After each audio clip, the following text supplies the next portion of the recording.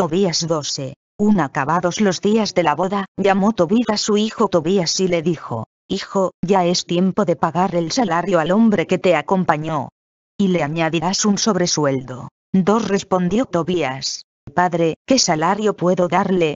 Aun entregándole la mitad de la hacienda que traje conmigo, no salgo perdiendo. 3. Me ha guiado incólume, ha cuidado de mi mujer, me ha traído el dinero y te ha curado a ti. ¿Qué salario voy a darle?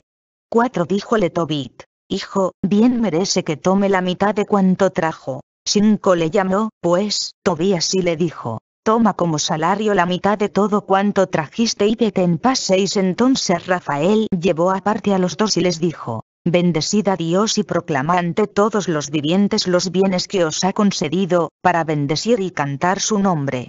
Manifesta a todos los hombres las acciones de Dios, dignas de honra, y no seáis remisos en confesarle. 7. Bueno es mantener oculto el secreto del Rey y también es bueno proclamar y publicar las obras gloriosas de Dios. Practica el bien y no tropezaréis con el mal. 8. Buena es la oración con ayuno y mejor es la limosna con justicia que la riqueza con iniquidad. Mejor es hacer limosna que atesorar oro. 9. La limosna libra de la muerte y purifica de todo pecado.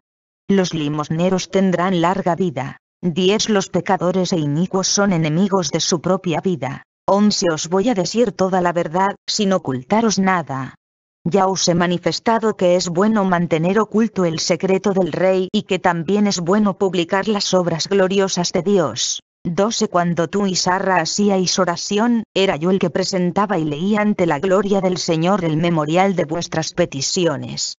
Y lo mismo hacía cuando enterrabas a los muertos. 13 Cuando te levantabas de la mesa sin tardanza, dejando la comida, para esconder un cadáver, era yo enviado para someterte a prueba. 14 También ahora me ha enviado Dios para curarte a ti y a tu nuera Sarra. 15 Yo soy Rafael, uno de los siete ángeles que están siempre presentes y tienen entrada a la gloria del Señor.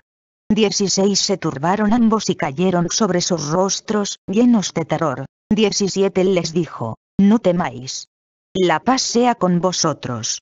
Bendecid a Dios por siempre. 18 Si he estado con vosotros no ha sido por pura benevolencia mía hacia vosotros, sino por voluntad de Dios.